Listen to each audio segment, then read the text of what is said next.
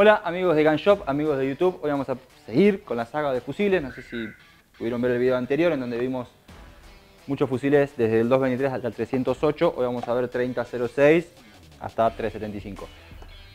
Vamos a arrancar con el Savage Axis, un fusil americano en calibre 3006 con cargador Kitty Pom, viene con las bases incluidas, que en este momento no las tiene puestas, pero bueno, son marca Weaver originales culata sintética, estamos hablando de un fusil de aproximadamente 100 mil pesos en el mercado. Muy buen precio para un muy buen fusil. Tika T3X, la versión más liviana del Tika, en este caso en calibre 3006. Sintético pavón, un fusil extremadamente liviano, estamos hablando de casi 2 kilos y medio, 2 kilos 800, con las agrupaciones Submoa. Seguimos con el 700 BDL, la versión de lujo, viene con madera nogal, y algunos detalles en ébano, en la puntera y en la base del grip, lo mismo que en la cantonera. Con disparador regulable y alce guion. Ese grinado obviamente de lujo, de otro nivel. Acción 700 de Remington, muy buen fusil en 3006. Esta versión para mí más agradable es la versión 700 CDL SF o algo así, que es la versión inoxidable con la culata de lujo, pero no, es no está laqueada, es el aceite y mantiene una terminación más mate, para mí más agradable, menos brillo. El cañón viene acanalado, inoxidable y con las mismas características de todos los fusiles de Remington con acción 700, fusiles que andan bien, duraderos, pegadores y como un buen precio. Saco A7, la línea económica si se quiere, de lo que es la firma Saco, en este caso en 3006, viene con disparador regulable, la culata de composite, un material muy resistente y liviano, cañón acanalado, semi bullbar y con la rosca en la boca del cañón. Ya viene con pastillas Weaver incorporadas, cargadores son Kitty Pom, ah, viene con un seguro para que no se pierda, anticaída, para eso hay que apretar un poco el cargador para adentro y ahí sí vamos a extraerlo. Eso para evitar que se caiga si se traba con alguna rama o algo, evitar perderlo. Seguimos con otro saco, la versión 75, uno de los últimos que deben quedar en el país en este modelo, un calibre 3006, sintético inoxidable. Hermoso fusil, disparador regulable, también cargador y tipón completamente metálico.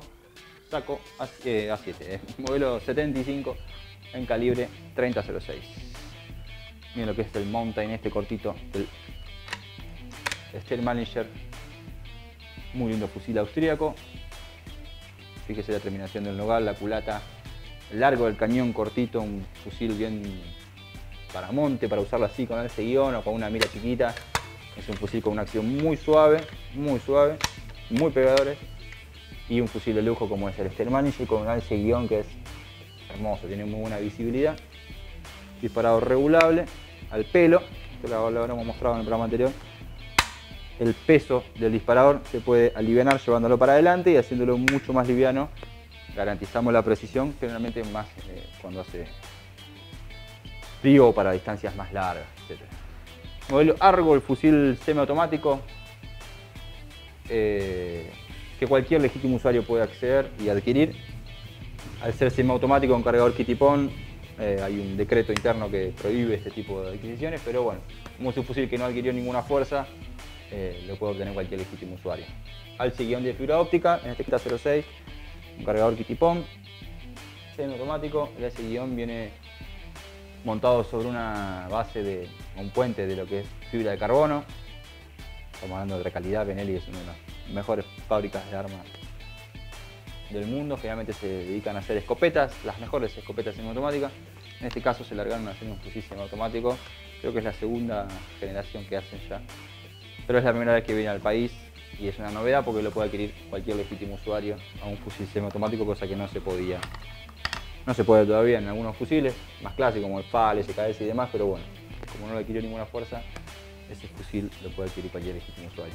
700 en, 300, acá ya estamos hablando de un cañón de 26 pulgadas, más largo, el cañón ideal para lo que es el calibre 300. Pero bueno, básicamente es la misma terminación que hemos visto en otros videos del modelo 700. El SPS, el sintético, es más clásico. Este es otro 300 también en terminación camuflada, un Real Tree, el camuflado silvestre si se quiere, con motivos más cazadores y no tan militares. Un hermoso, hermoso camuflado para un fusil que anda muy bien como es el Remington 700. Seguimos con tres versiones en 300, el Light, sintético pavón, Hunter, que es la versión madera pavón, los tres en calibre 300 y mi preferida, como siempre lo digo, lámina inox. Este es un muy lindo fusil, muy liviano, en un calibrazo como es el 300. En una terminación que para mí es la más linda, que es la laminada inoxidable. Hemos hablado millones de veces de esta terminación, pero bueno, básicamente es la más resistente eh, de todas porque la madera al ser laminada, al ser muchas capas prensadas, resiste mucho más los, trabajos que producen las temperaturas y el clima. Viene con esto que es una muestra solamente de que el cañón está flotado sobre la culata que no está tocando. Pero bueno, las mismas características del TICA T3 en esta hermosa terminación en 300 laminado inox. Seguimos con un CZ,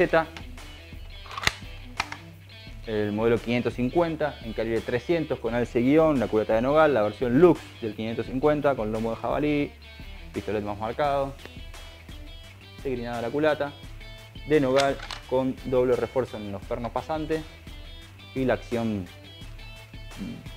Mauser que hoy en día se sigue usando. Eh, bueno, lleva años en el mercado y es una de las gestiones más resistentes que hay. Por eso CZ la sigue usando, si bien hay fusiles nuevos que ya no la tienen. Seguimos con otro A7, hemos mostrado recién. Sí, en 3006, este es el mismo pero en 300. Mismas características, los disparadores también son regulables, cargadores kitipom, cañón acanalado. Esta muestra lo que es el espacio entre la culata y el cañón, como sabéis. Seguimos con otro Manager, en este caso un Classic en 300, también cañón de 26 pulgadas. La versión con un hermoso nogal en la culata y unas terminaciones más lindas. Esta es la versión SM12, una versión un poco más liviana, si bien el cañón es prácticamente igual. Los dos casos están 26 pulgadas, el SM12 ya viene con eh, alce guion y si ustedes se fijan la madera es un poco más liviana, sobre todo en esta parte es un poco más angosta y el seguro, ya lo van a ver bien, a diferencia del Classic, en este viene deslizante y este viene de esta manera que se gira la ruedita tipo africano. Los dos son seguros rápidos, pero bueno, la SM12 pusieron esta versión que es un seguro más fácil de entender si se quiere. Para arriba asegura, para abajo libera el seguro. Sencillo. SM12 y Classic. Este el Manager en 300. Un 300 Weatherby, un calibrazo. generalmente es lo que hace siempre Weatherby. Agarra calibres ya inventados, ya fabricados. Los rediseña para hacerlos eh, más potentes. Lo único que hacen es elevar las cargas. hacer un poco más recto el ángulo del cuello de la vaina de esa manera que levantan mucha más presión y se logran tiros mucho más largos.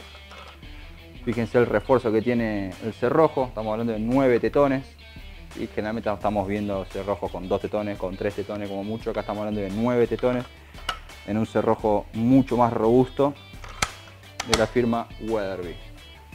Viene con rosca en la boca del cañón una madera nogal laqueada hermosa con detalles en otro tipo de madera que son hermosos fusil Weatherby, en este caso el modelo Mark V en 300 Weatherby Magnum.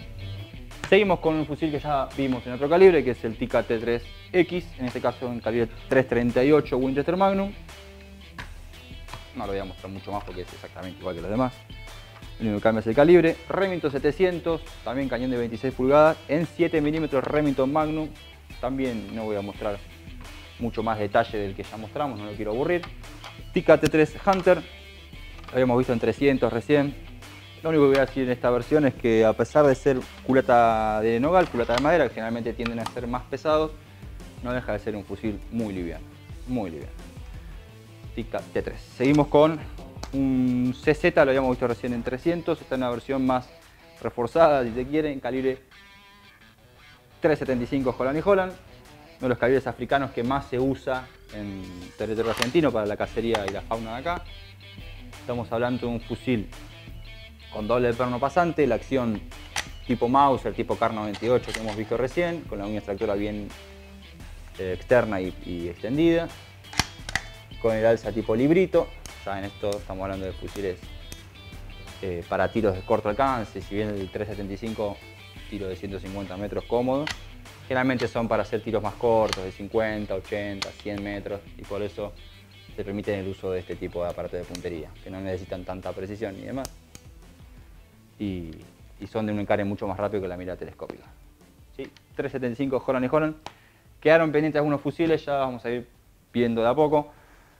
Pero bueno, esto fue una pequeña muestra de los calibres más usados en lo que es el territorio argentino para la Casa Mayor, eh, haciendo hincapié en lo que viene en la nueva temporada. Ojalá que se permita y esté habilitada para poder salir a disfrutarla. Así que nos vemos en el próximo video con más armas en Armilla Gun Shop.